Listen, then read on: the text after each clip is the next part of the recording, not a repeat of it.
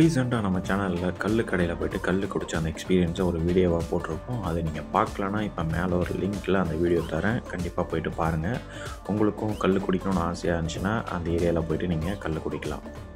So hi hello welcome to J vlog so இன்றைக்கி நம்ம ஊத்துக்கோட்டையிலேருந்து தாண்டி ஆரி ஃபால்ஸ்க்கு தான் நம்ம போயிட்டுருக்கோம். இது ஒரு கண்டினியூஷன் வீடியோ தான். லாஸ்ட் ப்ரீவியஸ் வீடியோ கல் வீடியோ அதை நீங்கள் பார்த்துருப்பீங்க. பார்க்கலன்னா நான் சொன்ன மாதிரி மேலே லிங்க் வந்திருக்கும். அதில் போய் பார்த்துருக்கலாம். அது தொடர்ந்து நாங்கள் ஆரி ஃபால்ஸ் ஊத்துக்கோட்டையிலேருந்து ஆரி ஃபால்ஸ் அங்கேருந்து ஒரு தேர்ட்டி கிலோமீட்டர்ஸ் ரேஞ்சில் போயிட்டுருந்தோம். நாங்கள் போகிற வழியிலேயே ஃபுட் எல்லாமே வாங்கிட்டு போயிடணும் ஆனால் சர்ப்ரைசிங்காக எங்களுக்கு அங்கே கிடைச்ச ஒரு இன்ப அதிர்ச்சி என்னென்னு பார்த்தீங்கன்னா அங்கேயே வந்து ஃபுட் வந்து கொடுத்துட்டு இருந்தாங்க. இது வந்து வீக்கெண்ட்ஸில் மட்டும்தான் இப்போதைக்கு கொடுத்துட்ருக்காங்க இந்த ஆரி ஃபால்ஸ்க்கு நீங்கள் வரணுன்னா பர் ஹெட்டுக்கு வந்து ஃபிஃப்டி ருபீஸ் சார்ஜ் பண்ணுறாங்க வெஹிக்கிள் அதாவது பைக்குக்கு வந்து பார்த்தீங்கன்னா ஃபிஃப்டி ருபீஸ் காருக்கு த்ரீ ஹண்ட்ரட் ருபீஸ் கொஞ்சம் ஓவராக தான் இருக்குது ஸோ ஓவரால் ப்ரைஸ் டீடைல்ஸ் இது தாங்க ஓகே இப்போ நம்ம வந்து ஆரி ஃபால்ஸ் உள்ளதாக போயிட்டுருக்கோம் இப்போ முன்னிலேயே பார்த்துருப்பீங்க. அங்கேயே வந்து ஃபுட்டு எல்லாமே தராங்க. வெஜ்ஜு நான்வெஜ் ரெண்டுமே தராங்க. ஆக்சுவலாக இது வந்து வீக்கெண்ட்ஸில் மட்டும்தான். அது அவங்க ஜட்ஜ் பண்ணி தராங்க. கூட்டம் வரும் அப்படின்ற ஒரு ஒரு ஜட்ஜ்மெண்ட்டில் பிரியாணி அப்புறம் வந்து chicken pakoda cauliflower pakoda veg சாப்பாடு எல்லாமே வந்து ப்ரொவைட் பண்ணுறாங்க வீக் டேஸில் உங்களுக்கு அந்த சாப்பாடு வேணும் அப்படின்னா நீங்கள் நம்பர் உங்கள் காண்டாக்ட் வாங்கிட்டு நான் தரேன் டிஸ்கிரிப்ஷனில் தரேன் உங்கள் காண்டாக்ட் தரேன். நீங்கள் சொல்லிட்டீங்கன்னா ஒரு பத்து பேர் மேலே வரீங்க அப்படின்னா அவங்க வந்து சாப்பாடு ரெடி பண்ணி தருவாங்க. அது கம்மியாக இருந்தால் கொஞ்சம் கஷ்டம்தான். இதனால் நீங்கள் கால் பண்ணி கேட்டுக்கலாம். யாரோ இவர் ஆழ் மனத்தில் போயிட்டு டக் லைஃப் கமல்னு சொல்லிட்டாங்க. அதான் ரங்கராஜ சக்தி வேலோட ஐக்கிய காயல்பட்டிக்காரர் முடியலடா. ஸோ ஆக்சுவலாக இப்போ வந்து ஒரு மூணு கிலோமீட்டர் நடக்கணும். ஆ? முந்நூறு மீட்டரா? ஹண்ட்ரட் மீட்டர் கூட வந்துருக்க மாட்டோம்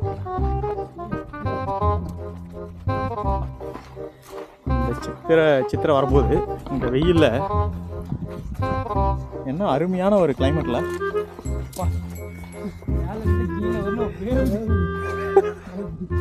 இந்த கொளுத்துற வெயில் அதுவும் சம்மர் அதுவுமா இந்த மாதிரி தண்ணியில் போய் ஆட்டம் போனேன்னு நினைக்கிறீங்கன்னா அப்போ நீங்கள் போக வேண்டிய பிளேஸ் இந்த ஆரி ஃபால்ஸாக one of the best place in Andhra நான் ஏன் பெஸ்ட் பிளேஸ் சொல்கிறேன் அப்படின்னு பார்த்தீங்கன்னா இந்த ஆரி ஃபால்ஸில் மட்டும்தான் நீங்கள் சேஃப்டியாக குளிக்கிறதுக்காக சேஃப்டி ஜாக்கெட் வந்து ப்ரொவைட் பண்ணுறாங்க பர் ஹெட்டுக்கு ஒரு ஜாக்கெட் வந்து பார்த்தீங்கன்னா ஹண்ட்ரட் ருபீஸ் அப்படின்னு சொல்லிட்டு சார்ஜ் பண்ணுறாங்க என்னதான் நமக்கு நீச்சல் தெரில அப்படின்னாலும் அந்த ஆழமான இடத்துலலாம் நம்ம போய் குளிக்கணும் அப்படின்னு நினச்சிங்கன்னா இந்த சேஃப்டி ஜாக்கெட் போட்டுட்டாலே போதும். நீங்கள் ஆசைப்படுற மாதிரி ஜாலியான ஒரு குளியலை நீங்கள் இந்த ஃபால்ஸில் போடலாம்.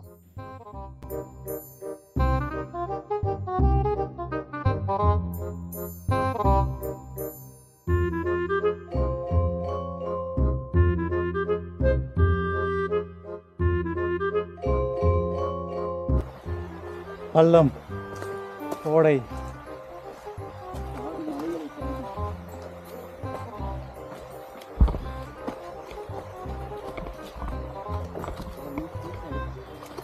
சுபா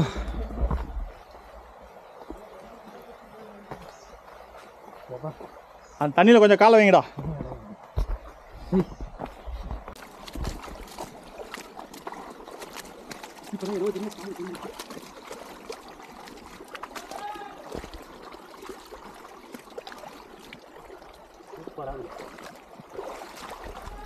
ஓகே நம்ம சாப்பிட்ற இடம் பார்த்துருப்போம். அங்கேருந்து ஒரு மூணு கிலோமீட்டர் நடந்து போகணுமா?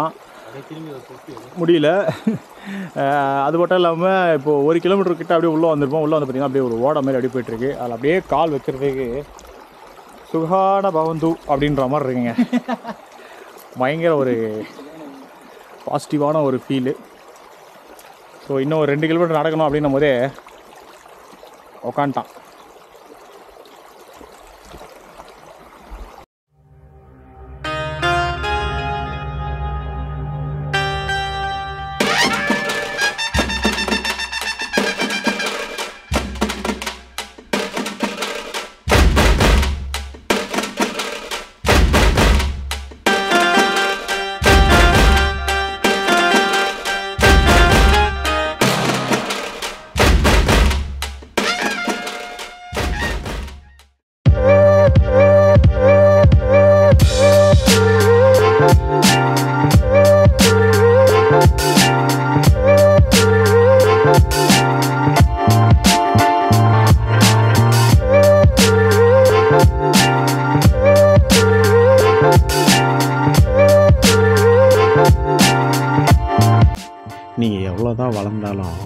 சின்ன புள்ளத்தனமான விஷயங்கள்லாம் ஒரு சில இடத்துல பண்ணி தான் ஆகணும் அப்படின்ற மாதிரி சுச்சுவேஷன் இருந்தால் கண்டிப்பாக பண்ணி தாங்க ஆகணும். லைஃபே என்ஜாய் பண்ணுறதுக்கு தானே. ஸோ அங்கே அழகான அந்த வேரில் வந்து ஊஞ்சலானது ரொம்ப சூப்பராக இருந்துச்சு. நீங்கள் போனீங்கனாலும் ட்ரை பண்ணி பாருங்கள் போகிற இடம் எல்லாமே பார்த்தீங்கன்னா ஒரு மாதிரி குண்டும் குழியுமாக பயங்கரமாக இருந்துச்சு. ஸோ ரொம்ப சேஃப்டியாக போங்க. ஒன்ஸ் நாங்கள் ஃபால்ஸ் ரீச் ஆனதும் நிறைய கூட்டங்க. அட எனக்கு இந்த கூட்டம்லாம் வேணாம்ப்பா. ரொம்ப கொஞ்சம் ப்ரைவேசியாக போய் குளிக்கணும் அப்படின்னு நினச்சிங்கன்னா வீக் டேஸில் போகிறது ரொம்பவும் சூப்பரான ஒரு விஷயம். அது அவ்வளோ கூட்டம்லாம் அங்கே இருக்காது. வீக்கெண்டில் போனீங்கன்னா கண்டிப்பாக கூட்டம் இருக்க தான் செய்யும். ஸோ நீங்கள் பீஸ்ஃபுல்லாக போய் என்ஜாய் பண்ணணும்னு நினச்சிங்கன்னா ஒரு வீக் டே பார்த்துட்டு பிளான் பண்ணி போயிட்டு ஜாலியாக என்ஜாய் பண்ணுங்க